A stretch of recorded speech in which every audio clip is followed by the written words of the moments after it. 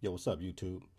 Um, just want to give you like a, a quick, just a, a real brief uh, uh, tutorial on how I um, uh, track out uh, my beats from the uh, NI Maschine into a PreSonus Studio One. Anyway, here's a, here's a sample that I use right here from um, Eddie Heywood. Check it out. This right here. You see it? That's it. Eddie Heywood. Anyway, I got a uh, piano sample, and I um, this is basically it right here though. It's a, it sounds horrible though. Y'all bought this album only for a dollar. Yeah. Check it out.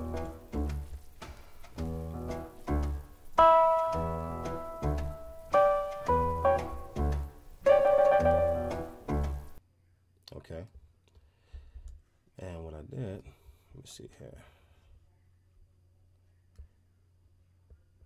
When I got the sample, this is this is what I you know, this is how I chopped it up though.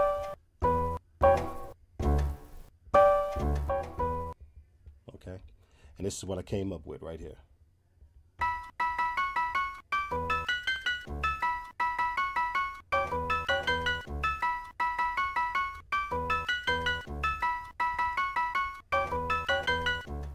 All right. And as you can see here, let me here, let me uh, minimize this a little bit. And once once you get a sample, you know, and, and you and you break it down in the uh, NI Maschine, and you say, okay, hey, now how do I get this over to, to uh, PreSonus Studio One?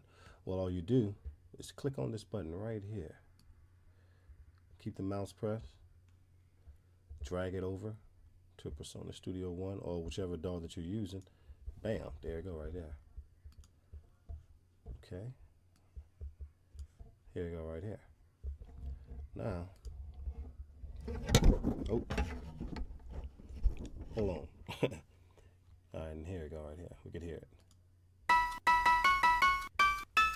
Yes. All right. And you know, I added a couple, uh, you know, some some kicks to it and everything. But anyway, here you go, right here. Let me see here.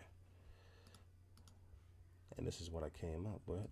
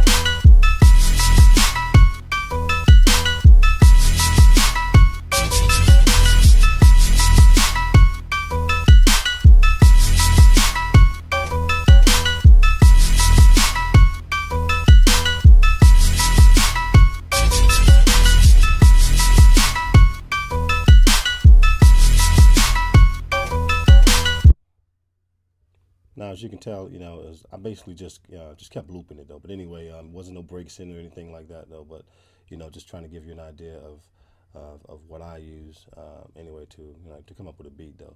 And it's probably you know, to some people I'm like, Jesus man, that shit is horrible. but anyway, I like it though. Anyway, I hope you enjoyed it and uh, have a wonderful day. Peace.